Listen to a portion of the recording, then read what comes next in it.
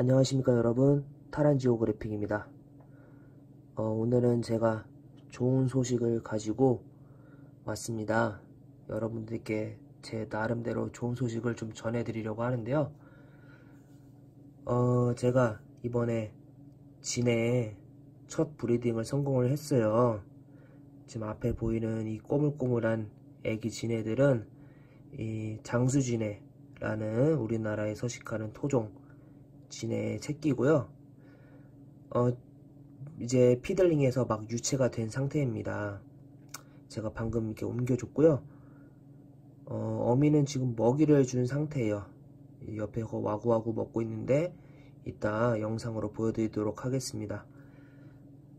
어, 처음에 이제 알을 확인했을 때는 한 16개에서 17개 정도 포란을 해서 알을 품고 있었는데 어, 중간에 유체가 되기 전에 몇 마리가 먹혔나 봐요. 최종적으로 확인했을 때는 11마리에서 12마리 정도 지금 유체가 되었습니다.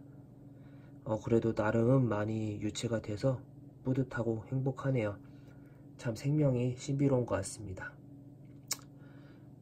어, 이 유체들은 일단은 제 첫 지네 breeding이라서 좀 많이 제가 좀 축양을 할 예정이고요. 여기서 몇 마리는 이제 네이버 카페에 절지류 패밀리라고 있는데 제가 그 절지류 패밀리에 지금 활동을 하고 있어요.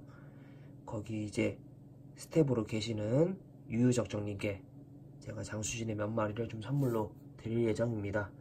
어, 평소에 장수지네를 좀 키우고 싶어 하셨는데 이참에 제가 좀 브리딩이 잘 돼서 선물 좀 드릴 예정입니다.